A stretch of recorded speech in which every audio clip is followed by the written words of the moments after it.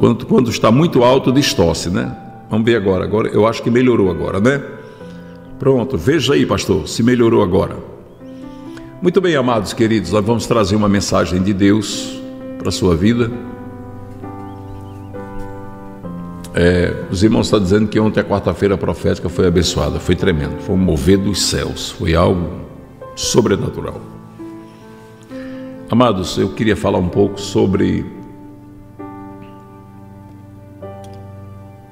Era só modulação, não era, Gabriel? Pronto, agora normalizou, pronto. Eu queria falar um pouco sobre. sobre o título de pastor. Sobre o título de pastor.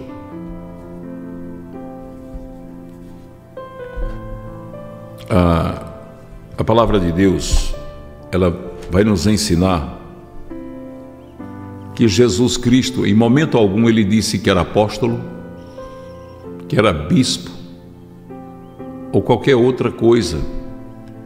Ele disse duas verdades. Ele disse: Eu sou filho de Deus, filho do homem e sou pastor. E ele chegou a dizer que as minhas ovelhas escutam a minha voz e me seguem. E essa palavra que Jesus Cristo falou é algo tão importante, irmãos. Porque o nome de pastor tem atravessado séculos sem perder o seu profundo e belo significado. O pastor ele tem os segredos do céu, do conhecimento da palavra para ensinar as suas ovelhas. Em João 10,11, Jesus diz: Eu sou o bom pastor. A ideia de ser pastor é mais importante porque alguns líderes querem ser apóstolos, porque eles acham que o título de apóstolo, pelo fato de Paulo ser chamado de apóstolo Paulo, Paulo era chamado apóstolo porque o apóstolo ao lado dele era exatamente um abridor de igreja, um rompedor de fronteiras mas Jesus disse, mesmo sendo ele o dono da igreja, ele disse: Eu sou o bom pastor. Ele chegou a dizer que veio para salvar as ovelhas perdidas de Israel, como está em Mateus 15, 24. E ele chamava todos aqueles que seguiam eles como ovelhas. E Jesus tratou a todos com o carinho de um pastor amoroso, de um pastor dedicado. Não quero falar mal de quem diz que é apóstolo ou bispo ou coisa parecida. Mas o pastor, ele tem essa palavra pastor, ela soa pai. E o significado é esse mesmo. Pastor é quem pastoreia. Pastor, pastor é aquele que fica olhando para as ovelhas e quando vê o predador, o lobo lá à distância ou qualquer outro predador, ele se levanta e sai em defesa das ovelhas. Por pastorear, Davi matou ursos e matou leões. Por pastorear, Davi se preparou para ser rei de Israel. As malhadas, que eram as malhadas das ovelhas, ele diz: Deus me tirou de trás das malhadas preparou Davi para ser o rei vencedor que ele foi. E hoje eu queria direcionar essa palavra a todas as pessoas que são pastores e que às vezes não sabem que são. Não, pastor é quem é quem está na frente da igreja. Não é só isso, irmãos. Um pai é um pastor, uma mãe é uma pastora. As pessoas que um professor em sala de aula está pastoreando, a empresa onde você trabalha, você tem um cargo onde você direciona pessoas, você está pastoreando. E a responsabilidade dessa liderança é de conduzir as pessoas de uma maneira carinhosa, mas de uma maneira justa, agindo com justiça e mostrando o caminho a ser seguido.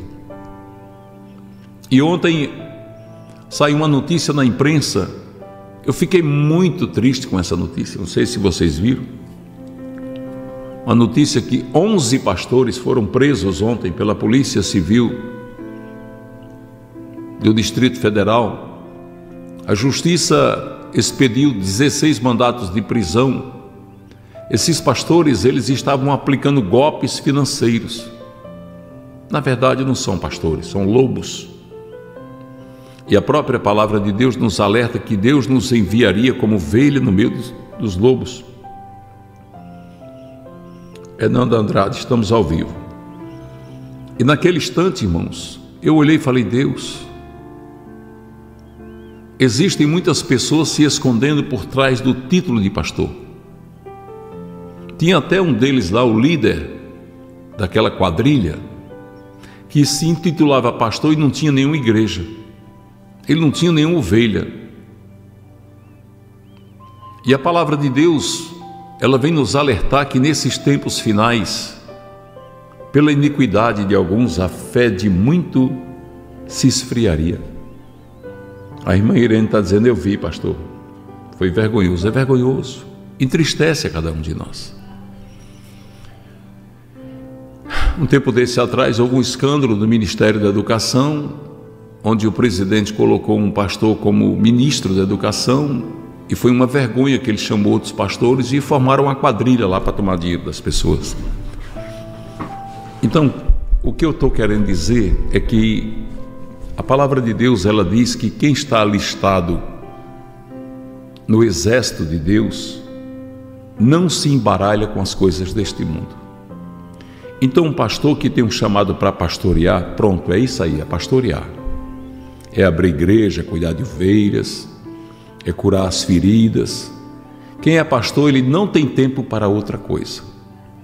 Quando eu vejo um pastor se envolvendo na vida pública, eu digo: esse pastor não tem chamado. Ele não tem chamado. Um pastor que sai candidato, seja o que for, ele não tem chamado. Um pastor que fica babando prefeito, deputado, governador, para arrumar emprego, para ter um cargo de confiança. Alguns até querem receber sem trabalhar, querem ser funcionários fantasma. Esse pastor não tem chamado. Não tem chamado. Porque quem tem chamado vai cuidar das ovelhas.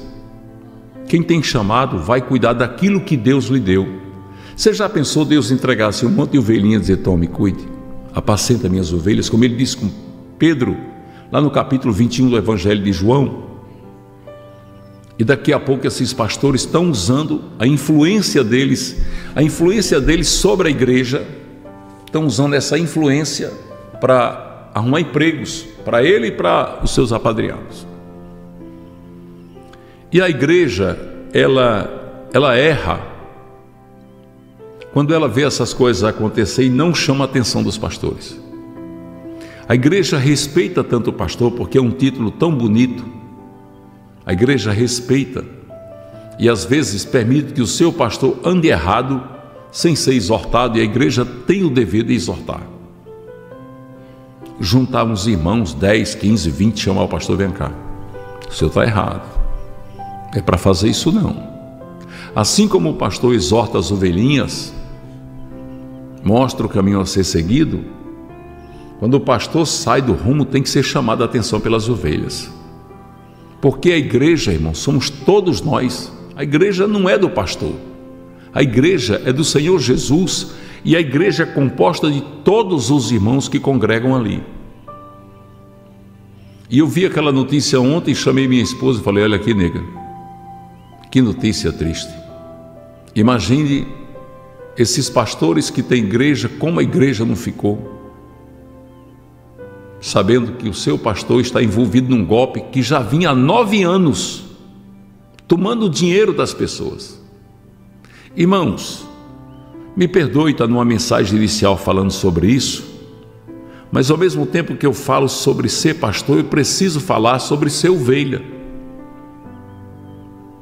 Ser ovelha, porque a palavra pastor, esse nome, esse título, tem gente que usa ele para enganar as pessoas. Porque fala pastor, você pensa de Deus. Mas não esqueça que Jesus Cristo alertou: vos enviarei como ovelhas no meio dos lobos.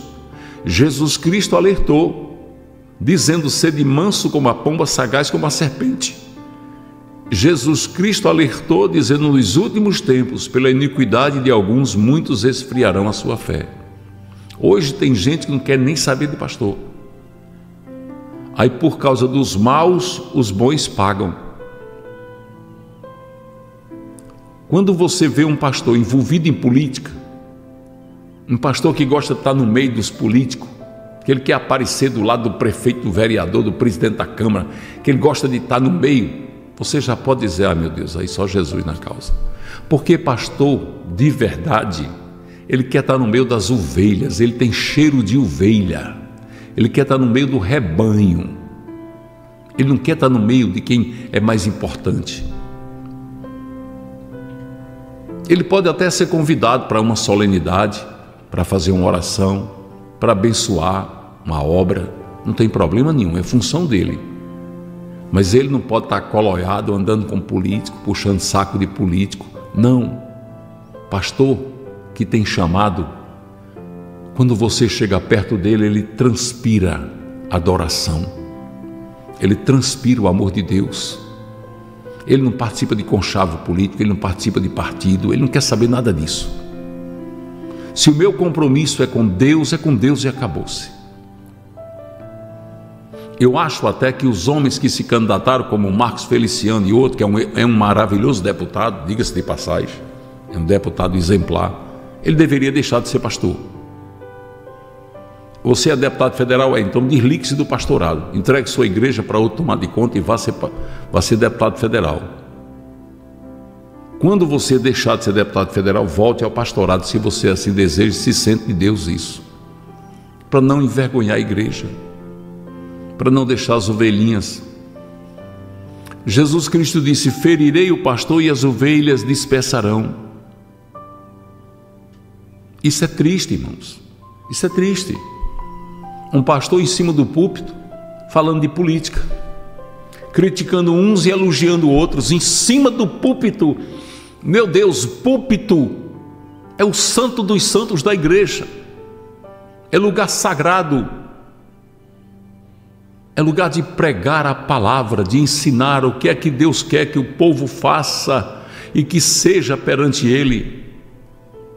Ficar falando de um político, ficar falando de outro, ficar criticando um, criticando outro, contando histórias que não tem nada a ver com a Bíblia, que não é um testemunho que glorifica a Deus. Não pode, irmãos. A igreja é santa e o mundo é profano. Você não pode pegar o mundo e trazer para dentro da igreja, para cima do púlpito. Tem pastor que reúne a igreja e pega o microfone e bota na boca do político. Não é todas as vezes, mas às vezes aquele político está atolado até o pescoço em roubo, em corrupção, com a vida toda desarrumada, até amantes, rouba o povo. É um camarada que está longe de Deus e está falando para a igreja. Ele pega o lobo e bota em cima do púlpito. É a mesma coisa dele pegar o lobo e botar dentro do aprisco, dentro do curral das ovelhas.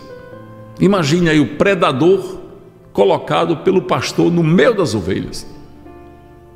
Só que o povo está acordando, o povo já não aguenta mais isso. Muitas pessoas estão deixando essas igrejas por causa dessa movimentação política dentro da casa de Deus. Pastores, não fiquem com raiva de mim. Eu estou falando que Deus me manda. Eu estou querendo dizer para você, pastor, que me escuta agora, porque eu tenho vários pastores que me escutam, e eu sei que outros me escutarão depois. Eu sei que irmãos vão cortar esse vídeo e vão mandar essa mensagem para os seus pastores. Eu quero dizer para os pastores: vocês não precisam disso. Pastores, pelo amor de Deus, vocês não precisam se arrastar, bajular, puxar saco de político. A sua igreja não depende disso para crescer. A palavra de Deus diz que um planta, outro rega e quem dá o crescimento é Deus. A igreja é dele. Você não precisa disso. O Deus que nós servimos, entenda pelo amor de Deus, Ele é o dono da prata e do ouro. É dinheiro que você quer para construir seus templos, para socorrer suas ovelhas, Deus manda, vem do próprio rebanho.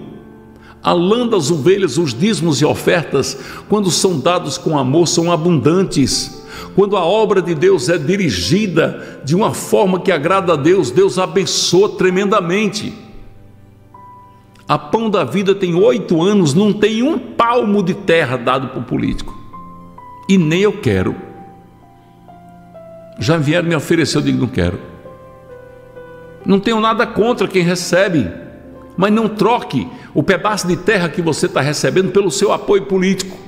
Não troque aquele pedaço de terra, carrada de areia, o saco de cimento, sei lá o que. Não troque por uma posição em cima do púlpito para contaminar o púlpito da sua igreja, para deixar de acontecer milagres e maravilhas, para Deus deixar de operar. Não troque, não negocie aquilo que desagrada a Deus. Não faça.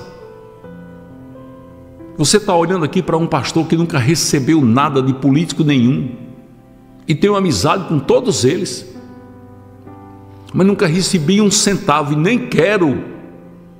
E a pão da vida não para de crescer. As ovelhas dizima, oferta. A nossa igreja, uma igreja poderosa, teve um candidato que veio oferecer a mim 500 cestas básicas. Eu falei, não quero. Teve um que mandou 6 mil reais, um pacote para mim, no sábado, a eleição era no domingo. Era só para o senhor fazer umas visitinhas. Pode levar, não quero não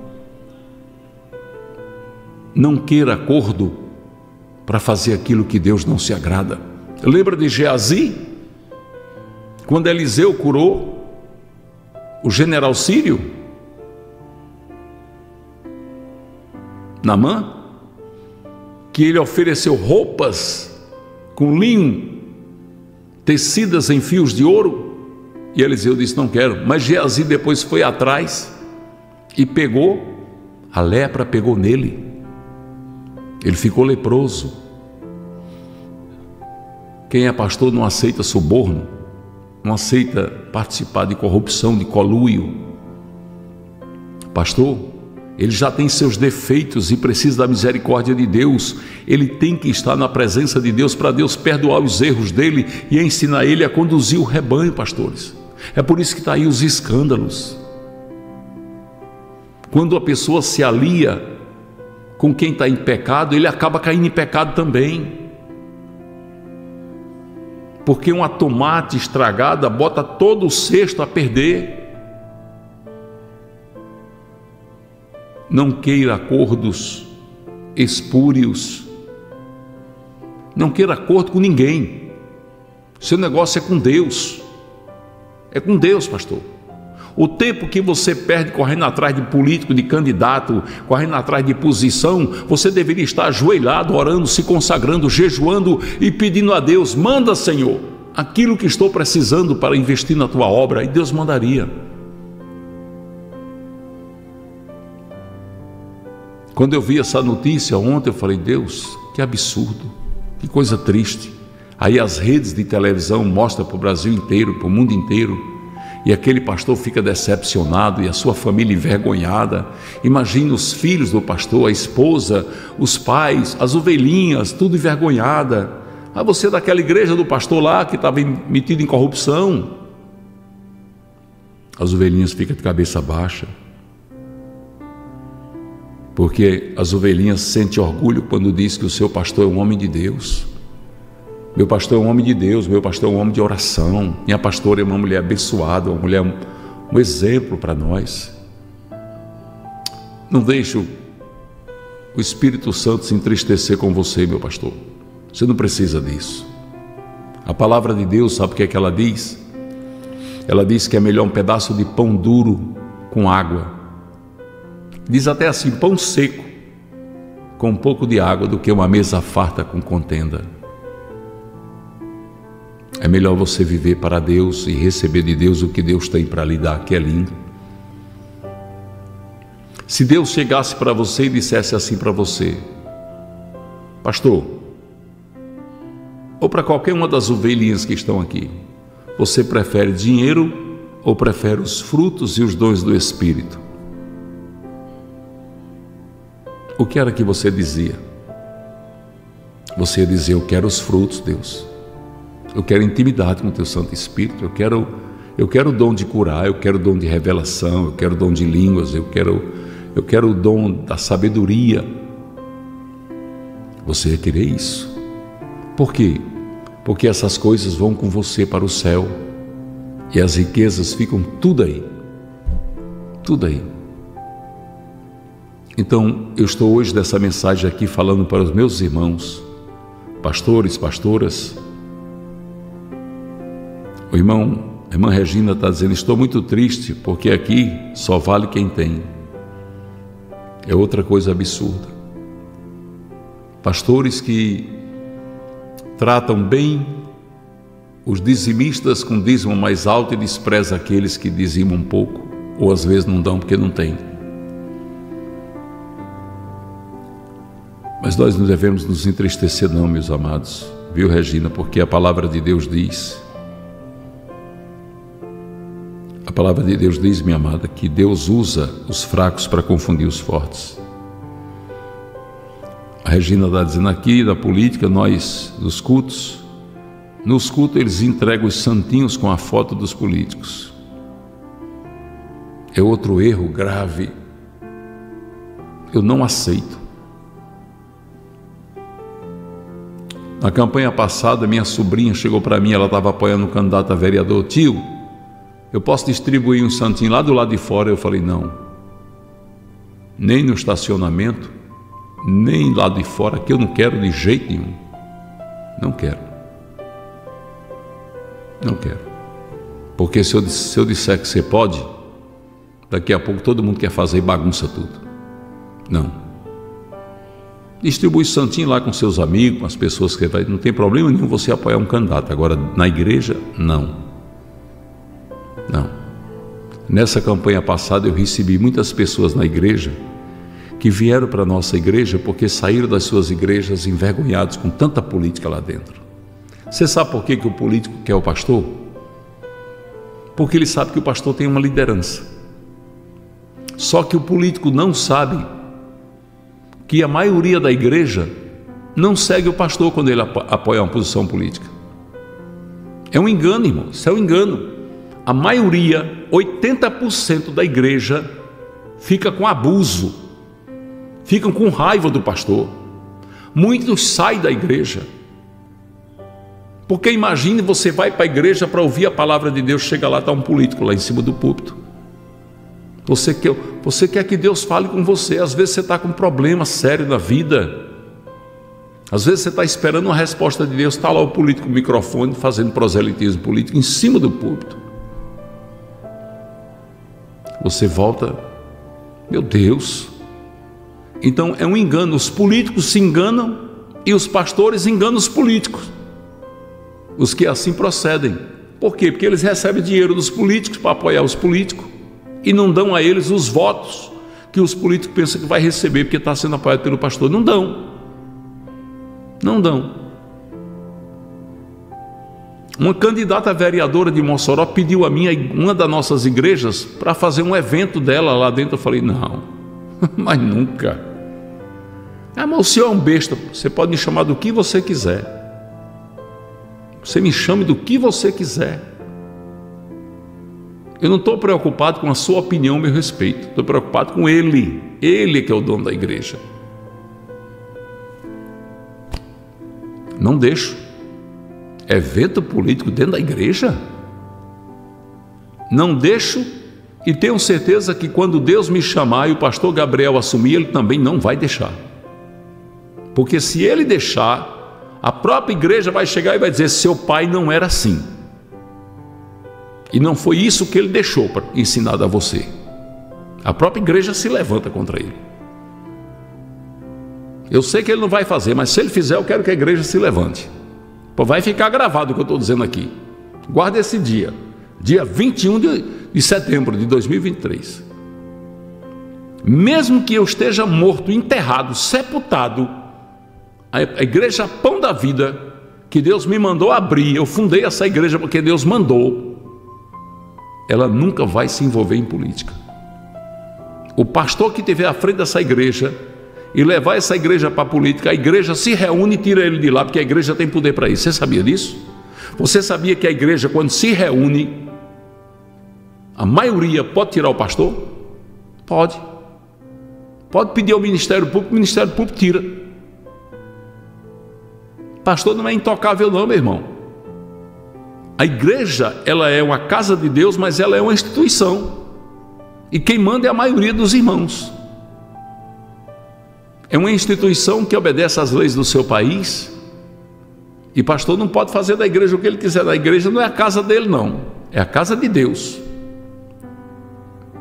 Mas essa mensagem de hoje, aqui do início, é para dizer a quem conduz rebanho: você não precisa se envolver nessas coisas para obter vantagens.